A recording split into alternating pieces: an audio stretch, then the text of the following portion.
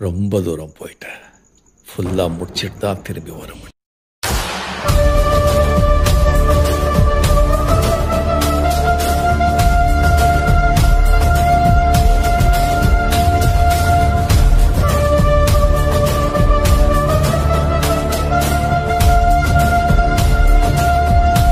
NCS BGM.